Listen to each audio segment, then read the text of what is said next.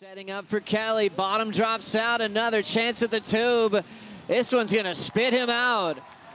Wide open section to lay that rail down. On the takeoff, one big ramp, and he can't get the takeoff off the big section with 10 seconds to go.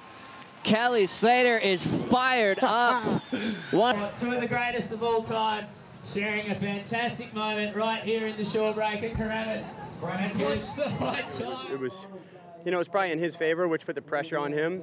I think uh, the situation probably took the pressure off me a little bit. I felt really relaxed, and I could just feel like with the, the, uh, I don't know, the, just the way the heat was moving, the waves I was getting, the waves he was getting, when priorities being lost, what wave would come, all that. I just felt like it was in my favor. It just felt.